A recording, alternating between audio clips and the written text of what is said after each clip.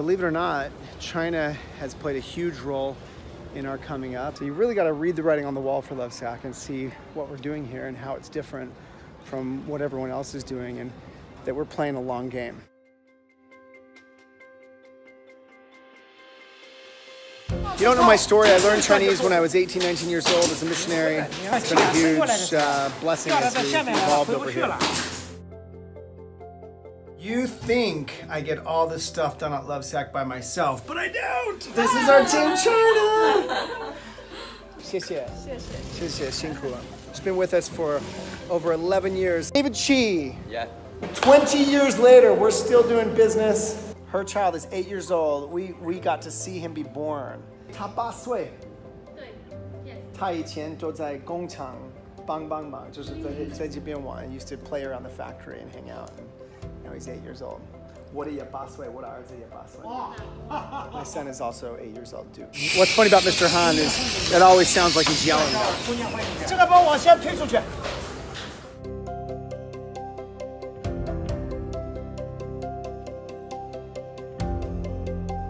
These relationships are everything. When your manufacturing partners are more than just um, service providers, you're not just running around factory to factory, always chasing another dollar, saving another buck.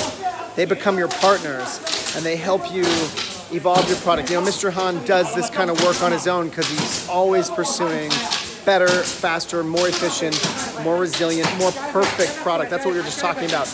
But you want to know the real secret to maintaining great relationships in Asia? eating together. In particular, seafood. It's really just at the ceremony of the thing, you know, breaking bread together, but there's never any bread. What would a factory visit be without a lazy Susan dinner to follow?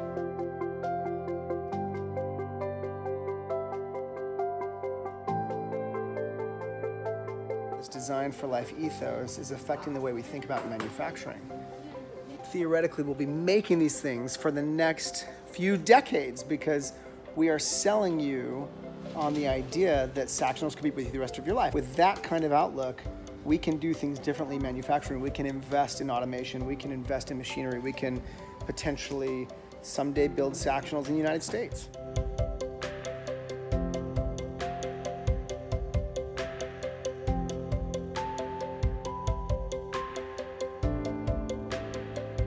Well, we use really heavy zipper, only the best thread, only the best machinery, down to the length of stitches we care about. One of the things that really separates Sactionals from all the other crap furniture out there is while everything else is just thrown together with staples and glue, Sactionals utilize wood screws. Look at all those wood screws! Look at all those wood screws! All of our upholstery fabric that's on Sactionals now, this gray upholstery fabric, is made from 100% recycled plastic water bottles. And that's without sacrificing any of the hand feel, the quality, the durability. We make sure that all of our glue is uh, neutral for the environment, is low VOC, is healthy to breathe.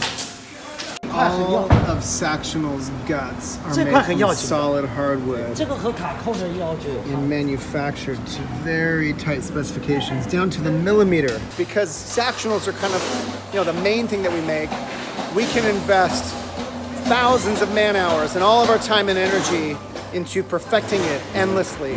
So we're constantly improving them little by little over the years. We're probably on version 49 of Sactionals. I still have ones in my home that are 10 years old that are holding up just great. For us, it's not just a path to making better stuff, it's a path to potentially affording the most efficient supply chain you've ever thought of. Because when you're building things that are built to last a lifetime and designed to evolve, and that people are meant to grow over time and reinvest in and upgrade and add to, then they'll be demanding that same product without change. At least product that can be reverse compatible with whatever they have already for maybe decades to come which would allow us the opportunity to really invest in that supply chain, make it super efficient, and um, unlike any other. It's actually a really exciting time in Lovesac's sourcing evolution. We began looking outside of China for new suppliers uh, two years ago. just to be diligent and, and as a business and seek diversification of our supply chain. And luckily, we were a little bit ahead of this curve when Trump's special tariffs hit and really forced our hand to move our manufacturing even more rapidly out of China to other countries in the region, which we've done really successfully. So now we are doing the same thing in Vietnam, in Malaysia. We have uh, other countries on our list, and ultimately, you know, we'd love to move a lot of our manufacturing back to America. But in the meantime, uh, we now have opportunities to employ people in all these other great countries in the region that we're having a lot of fun traveling to and making new friends and meeting new people and establishing new relationships.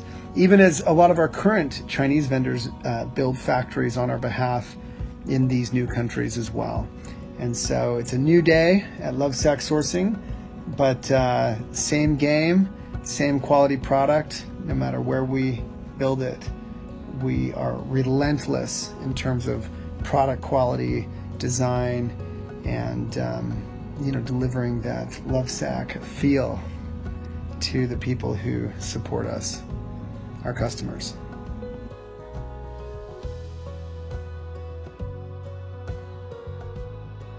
And that's part of the reason why I wanted to document what we're doing here in Asia with our factories. We're very proud of employing all these people. We're very proud of the supply chain we built. We're very proud of all the um, manufacturing we do in the United States as well. All of our sacks are made in the US. Uh, all of our custom covers are made in the US. And I believe that in the future we'll be doing even more in the United States. I look, I like to believe we're building something really special that'll mean something in the world and that ultimately, you know, will help us achieve our big, hairy, audacious goal, which is even bigger than, you know, selling Sactionals to everybody and convincing people that design for life is a better way to live. Our big, hairy, audacious goal at Lovesac is to inspire mankind to buy less and buy better. And this is a company that sells stuff, right? We want you to buy less stuff because we want you to buy it better. We'd rather see you invest your money one time the right way in something that can last because it was built to last and can evolve with you. And that is what Design for Life means. And that is where Lovesac will go. So keep watching. I believe we really are just getting started.